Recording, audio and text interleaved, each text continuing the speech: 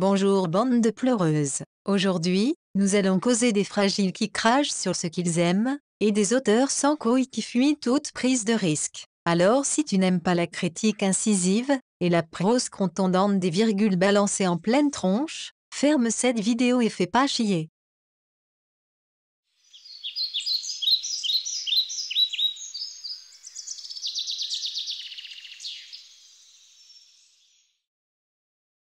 Quand je suis portée à voir la liste des numéros 1 d'Amazon dans la catégorie Livres érotiques, j'ai juste envie de hurler. Puis, je me demande si vous n'avez pas tout simplement de la merde dans les yeux. Vous regardez les couvertures quand l'envie de vous lire un livre arrive, ou c'est juste le titre putassier qui fait tilt? Quelle information vous grimpe jusqu'au cerveau? Le racolage vulgaire, la redondance des scénarios, car niveau scénario, on est au même niveau que ta dernière diarrhée. L'ensemble des textes sont flasques, mous, et même la mouche la plus morte de faim ne se posera jamais sur un de ces trucs. Et vous les auteurs, que vous aimiez les histoires de milliardaires, ok, mais putain, il y en a des kilos. Cela ne vous fait pas étrange de partager la même idée vérolée que votre voisin, vous ne cherchez donc pas à créer, à toucher du bout du clavier des sujets plus innovants. Amazon vous donne la possibilité de jouer aux écrivains, essayez au moins de vous sortir les doigts du cul, ou allez vous inscrire au chômage?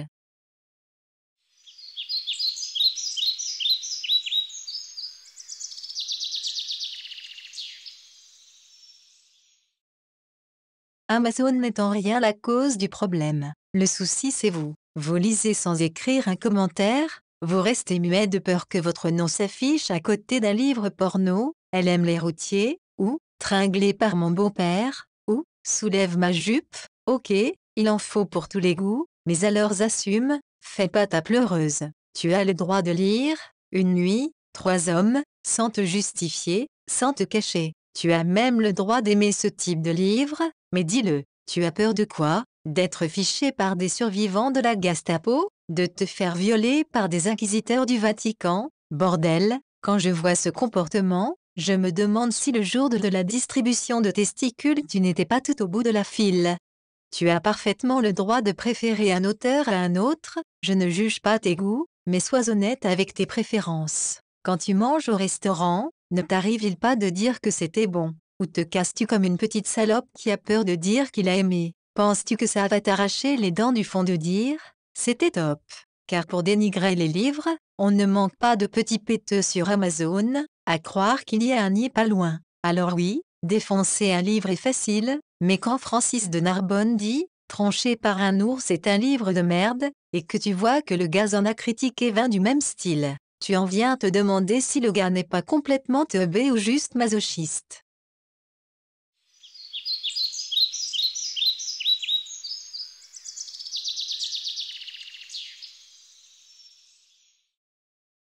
Tu as le droit d'être différent, de penser autrement, de ne pas ressembler à ton voisin. Ta différence est une qualité, une couleur de plus dans la vie de tous les jours, alors montre-le. Quand tu achètes, tu réponds à ton envie, pourquoi ne pas le dire? Pour ressembler à 30 millions d'abrutis, pour t'enfoncer dans un moule où tu ne rentreras jamais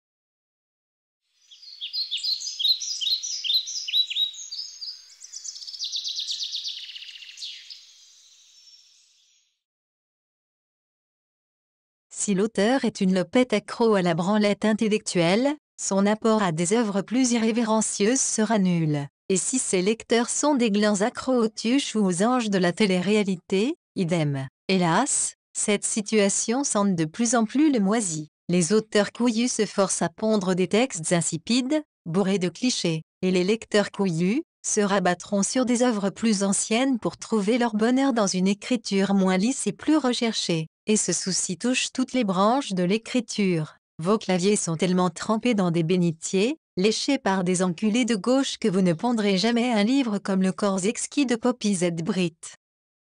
Et c'est là le souci. L'uniformisation s'étale sous vos pieds et vous restez impassible. Vous mangez la pâtée que l'on vous sert, en oubliant peu à peu qu'il fut un temps où l'art pouvait être choquant, troublant et contestataire. Par la faute de votre apathie, nous aurons un Mickey comme dictateur, et personne ne sera là pour pleurer, car tout le monde aura oublié à quoi ressemblait un monde avec des couilles, du sexe et de la violence.